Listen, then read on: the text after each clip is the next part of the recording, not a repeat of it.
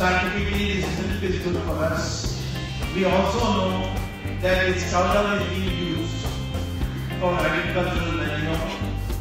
We also know that its urine has medicinal properties. I have introduced a private members bill in the Rajya Sabha. Where I have said, where I have said that in keeping with our tradition, if anyone slaughters a cow, he shall be subject to death penalty.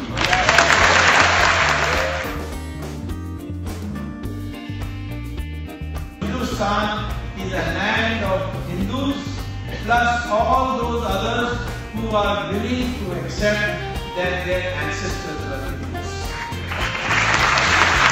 So one of these days you might have an ice cream